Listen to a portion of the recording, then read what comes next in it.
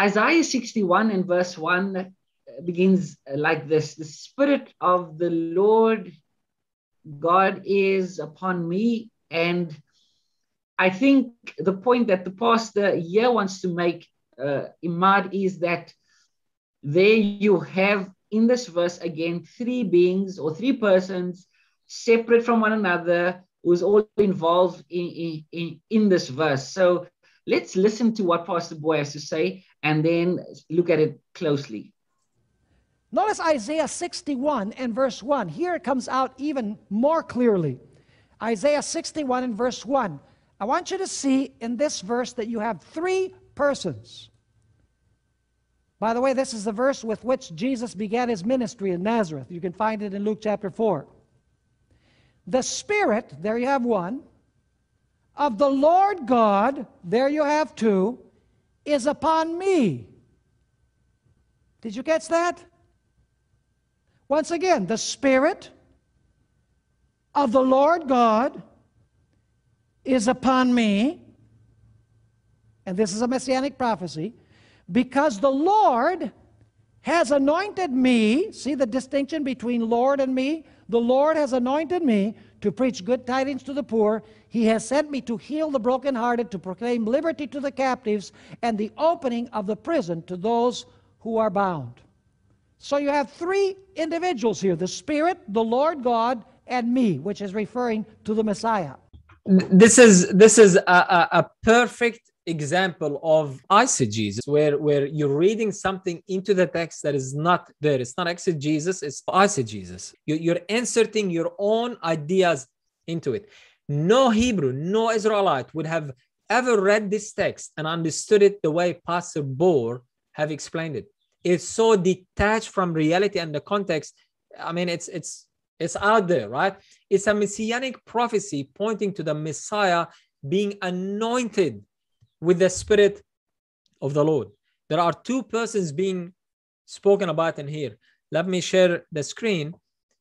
There is uh, uh, uh, there is the Lord God and me, which is the Messiah, right? The Spirit of the Lord God is upon me right? I will, I will, I will comment on it uh, soon. But notice the overarching idea that comes from Isaiah. Notice what we read in chapter 11 and verse 1. And there shall come forth a rod out of the stem of Jesse, and a branch shall grow out of his root. And the Spirit of the Lord shall rest upon him the Spirit of wisdom and understanding, the Spirit of counsel and might, the Spirit of knowledge and of the fear of the Lord, and shall make him of quick understanding in the fear of the Lord. Okay, so the Spirit of God will be upon this Messiah.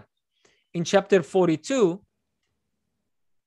and verse 1 Behold, my servant whom I uphold, mine elect in whom my soul delighteth.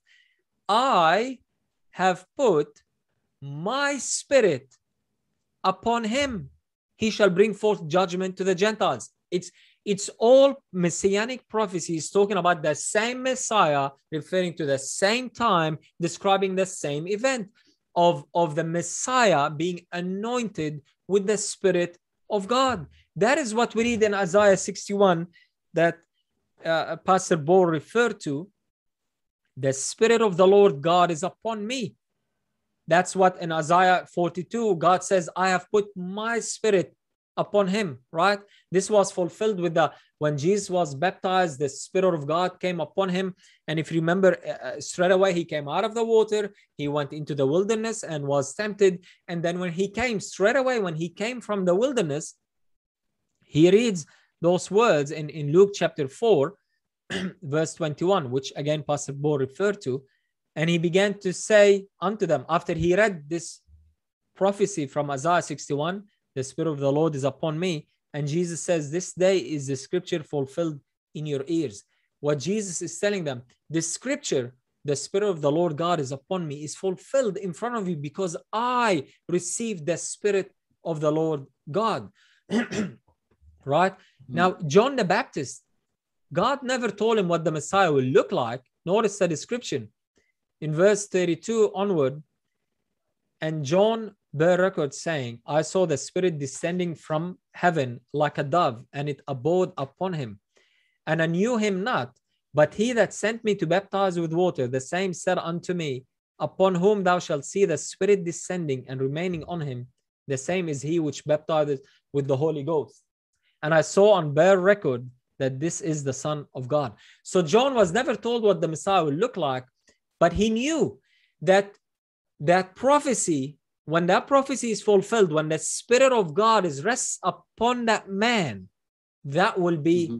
the Messiah, right? Upon whom thou shalt see the Spirit descending, right? And and uh, in John chapter 3, you've read it in the previous episode in verse 34 for he whom God has sent speaketh the words of God, for God giveth not the Spirit by measure upon him. The, the prophecy, the messianic prophecy that Pastor Bohr referred to, the Spirit of the Lord God is upon me, has nothing to do with the Trinity. The Spirit of the Lord God, you don't have two beings there, you don't have two persons there. You have one person giving his spirit, as we read in Isaiah 42, I believe it was, I will put my spirit. Now, listen, uh, no one reading the scriptures without a preconceived idea will read the words my spirit and will understand the words my spirit to refer to another person called God the Holy Spirit. I mean, it, it, it just it's just not logical. Come on, people. Let's let's just be reasonable with the scriptures. I mean, my spirit is my spirit. No one, especially from the denomination where this pastor, Pastor Bohr, comes comes from, no one will believe that the spirit of a person is a separate entity than that person themselves. Nobody, right?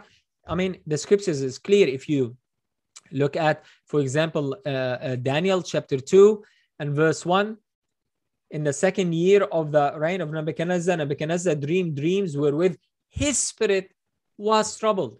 Who was troubled? It was Nebuchadnezzar himself. His troubled, his spirit was troubled, and his sleep went from him. Uh, uh I want to refer to the verse in Luke chapter 8, verse 54 and 55, when Jesus raised uh, uh, Jairus' daughter, right?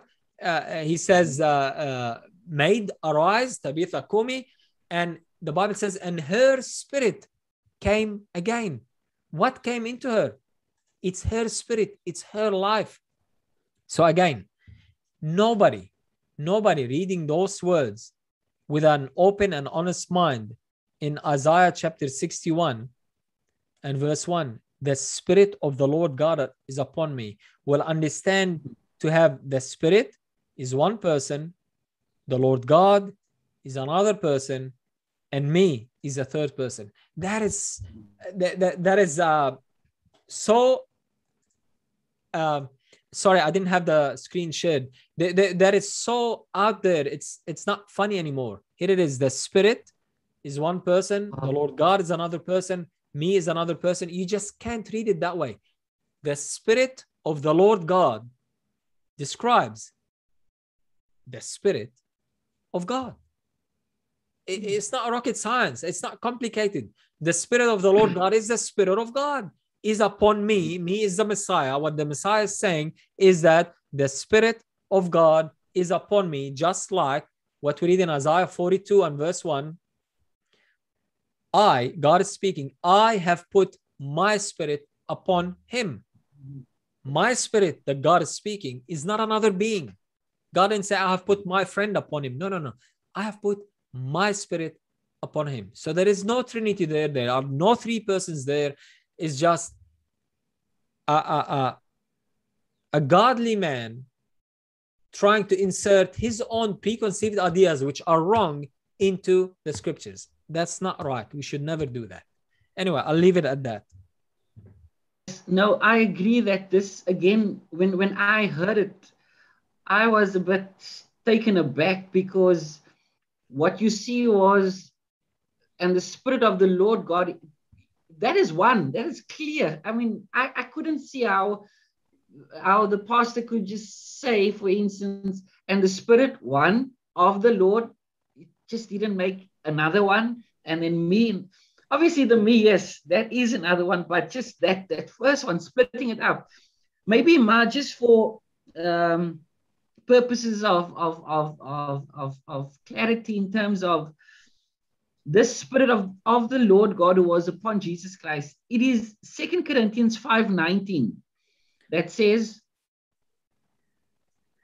God was in Christ reconciling the world to himself. We, have used this verse many a time in our studies in the past. Um, and um, it, yes, it said it, it says um, God was in Christ. Now, I, I want to, I'm going to make a point here. Ephesians 2 and verse 18. Ephesians 2, verse 18. Ephesians 2 and verse 18. I'm just waiting for it to appear. Okay, there we go. For through him, we both have access by one spirit unto the Father. So I, I, I want to look at this, this idea quickly uh, as we close this thought.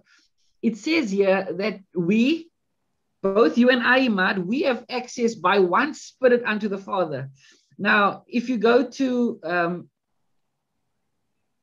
chapter 3 and verse 12, I, I want to see that access. How are we able to access the Father? We know what Jesus said um, while, while speaking to, I think it was Thomas who asked him, Show us the way. He said, I'm the way to the mm-hmm. Father. No one comes to the Father. But this access, so it says here, in whom, talking about Jesus Christ, the previous verse, in whom we have boldness and access with confidence by faith. Um, can you just scroll it down a little bit, Imad? Is it is it to God? Because I can't see that part or up. I think you you because I think maybe I should just move this. It's fine. All right, so I'll read it again. Sorry. It says, In whom we have boldness and access with confidence by faith of him. So this access, this access can't be talking about Jesus Christ himself. It's it's talking about access to God. So the access to the Father. So it's this access we, we access by one spirit, we access by Christ. It is it is very clear that the spirit of God that is in Christ Jesus that is reconciling the world to himself is giving us the ability to access the Father. It's the way by which we come to the Father, and none other than through Jesus Christ. So, again, just a study here as to this spirit that rested on Jesus Christ. What did it make possible? It made possible that we have access to the Father through Jesus Christ. That, so, yes. yes yeah, look, that, that, that is true. And another verse came to my mind going back uh, to um, the reference, you know, or people uh, uh, saying the Spirit of the Lord God, the Spirit is one, the Lord God is another, and, and so forth.